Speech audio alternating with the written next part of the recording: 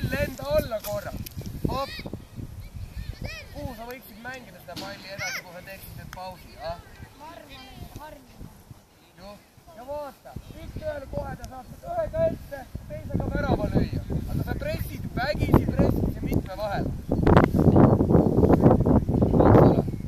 ja teised ümberringi ka, näiteks sina, Sander, sina oled ju näoga, sina saad olla tema silmas sinnapoole, eks ole. sina saad ju öelda talle, et stopp, stopp, vii ääre üle, hopp, viib ääre üle.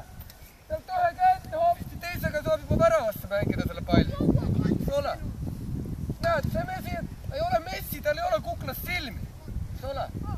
näete, vot need mehed on tema silmas sinna taha, pall.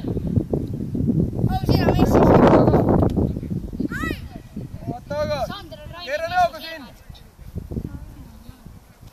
siit sina pead nüüd ütlema. 哥。